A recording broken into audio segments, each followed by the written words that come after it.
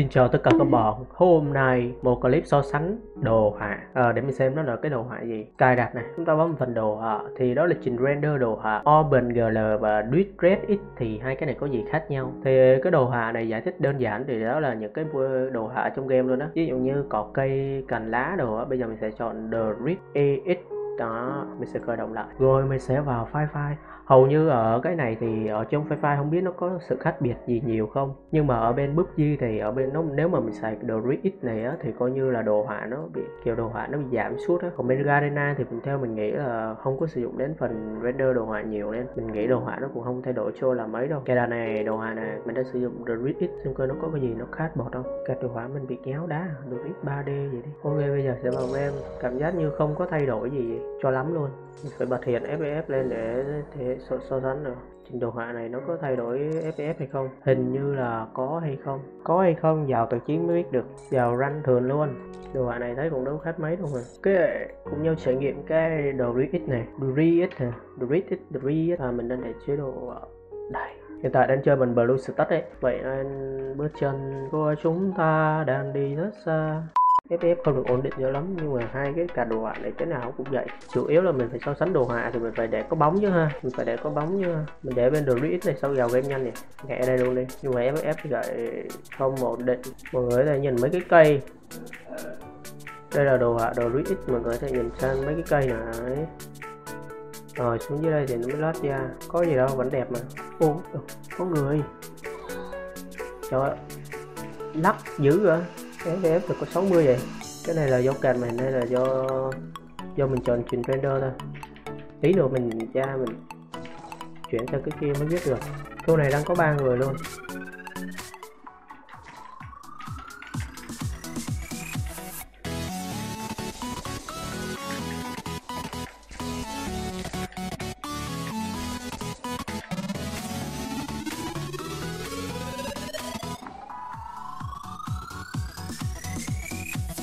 Sao mà khó vậy sao bắn không hit hồi thì tại giật lắc quá.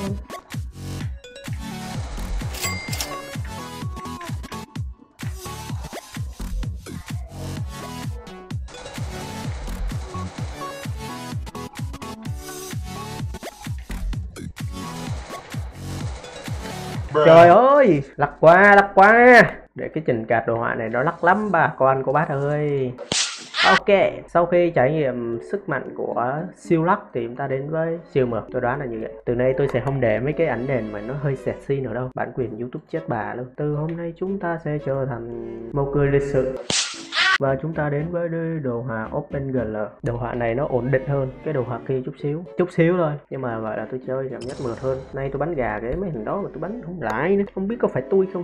Bắn mấy boss mà bắn không lại Đúng là dở khi mình chơi cái đồ họa này thì uh, đồ họa Open uh, OpenGL này thì mình cảm giác nó từng cái chuyển động nó mượt hơn một chút xíu. Mặc dù đồ họa nó cũng gần như nhau ở trong FIFA thì nó không có khác mấy. Mọi người có thể nhìn cái mấy cái cây đồ nó cũng bị như vậy.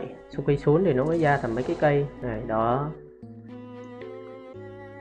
Nhưng mà cảm nhận của thành đó không? Thành này đúng không? Sao giật vậy? Chơi vậy chết rồi. Rồi không thấy ai hết à thì cảm giác cái đồ họa này nó mượt hơn chút xíu.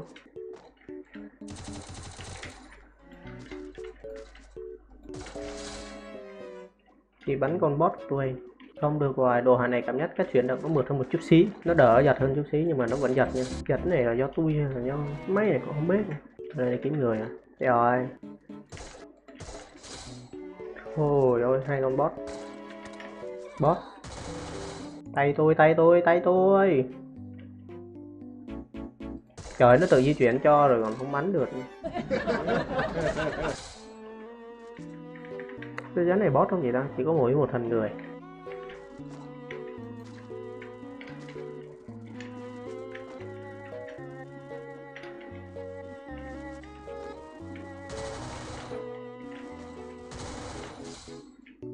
Có người à? Ồ, cảm ơn. Tức là vẫn có người. Có người là được rồi. Còn hơn không có ai hết. Còn hơn không có ai hết lúc tôi quay clip ông giờ đấy FPS được trên ờ, một trăm hai mấy. Mấy tôi chơi ranh à đúng rồi chơi ranh chắc không được. Tí ờ, chơi mấy chế độ như ờ, độc lan chiến đồ thì chắc được. Lấy xe đi xăng.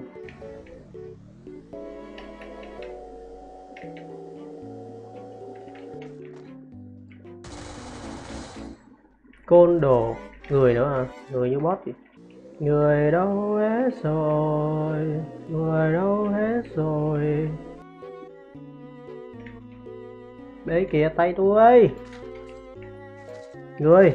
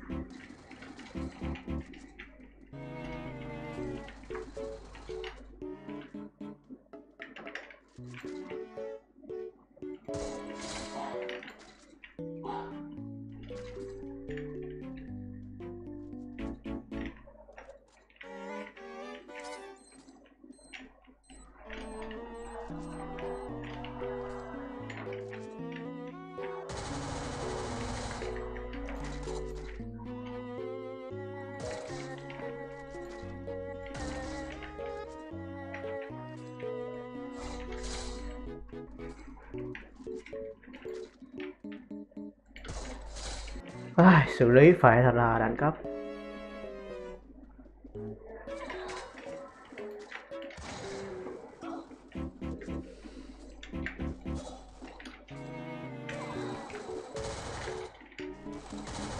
Mày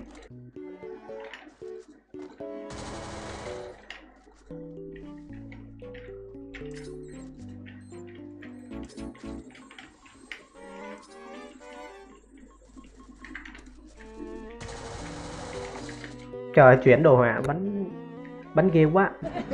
Cái này bắn sao đường tỏi là hay. Lấy top một.